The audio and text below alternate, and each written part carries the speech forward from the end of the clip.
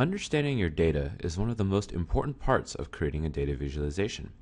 This video will go over basic data structure and what happens once you import your data into Tableau Public. This dataset lists every Olympic athlete who has won a medal since the 2000 Games in Sydney, Australia, and how many medals they won and in which sports. In general, there are three rules to formatting your data. The first is make sure that your data, including all of the column headers, starts in cell A1. When you find data sets, sometimes they come with titles and descriptions. You want to get rid of all of these and move your data right away into the very first cell. Second is have your first row be your column headers. They should describe what data is in every column, whether it's the name of the athlete, their age when they won the medal, the country they represent, and so on and so forth. Finally, every row should be one piece of data. In this case, that means every row is one athlete that won a medal for every Olympic Games. Notice that we have one column for athlete, but also one column for each of the different types of medals that they won, whether it's bronze, silver, gold, or the total medals that they won. Let me show you a variation on this data set that is slightly different. Notice that every row is now one type of medal per one athlete for every Olympic Games. Now we only have one column for the number of medals that every athlete won instead of four. But we also have another column that tells us the medal type. This is important because you'll notice that sometimes certain athletes appear multiple times, even if it's for the same Olympic Games, because they won medals of different kinds. This distinction is important because it'll affect how you do your analysis in Tableau Public. Let's go ahead and bring our very first version of our dataset into Tableau Public. We'll bring the second one in later and compare the two. First, select the type of data, in this case Microsoft Excel, and then select the file. If your file has multiple sheets like mine does, pick the one you want to use.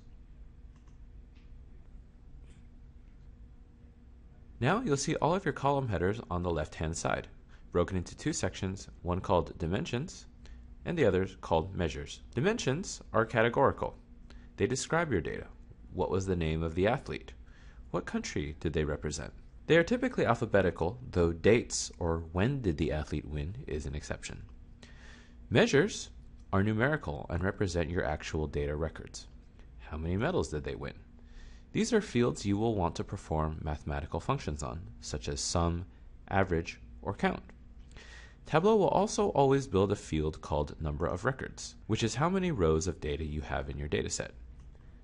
This is particularly useful if you want to see how many athletes won medals in a particular sport or in a particular year. However, it does not tell you exactly how many athletes are in your dataset on a whole because we can have an athlete win medals in multiple Olympics. Again, dimensions are categorical and measures are numerical. Tableau automatically guesses which one is which, though you can move them back and forth.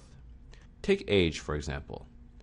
Averaging age, or taking the median, is a very useful metric, but so is using age as a category. Describing your data, such as how many athletes won medals for each age, like so. You can also change a field's type on the canvas itself. Remember before I talked about finding the number of athletes who have won medals since the 2000 Games.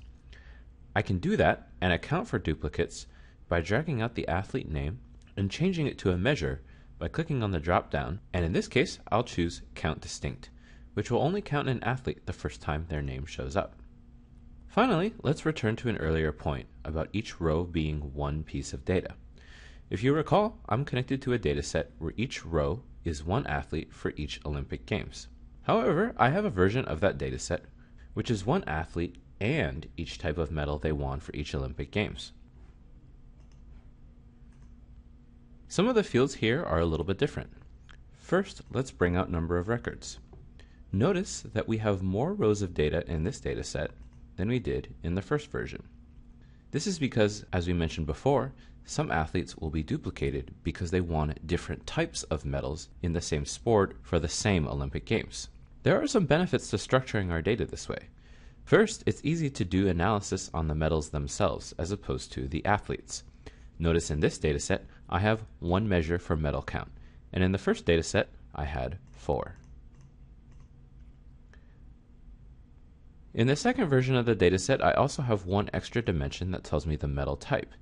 This lets me do very easy analysis on the medals, including dragging them onto color, so I can see the breakdown of the medals won by their type.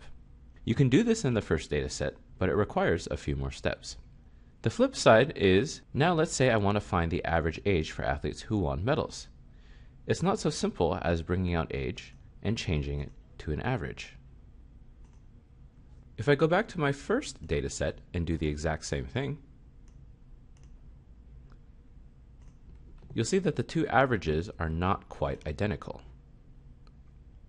Why? Because age shows up multiple times for each athlete, because each athlete sometimes will also show up multiple times. Accounting for this takes a few extra steps as well. For my particular analysis, because I care more about analyzing the athletes, the first version of the dataset is probably the better way to go for me.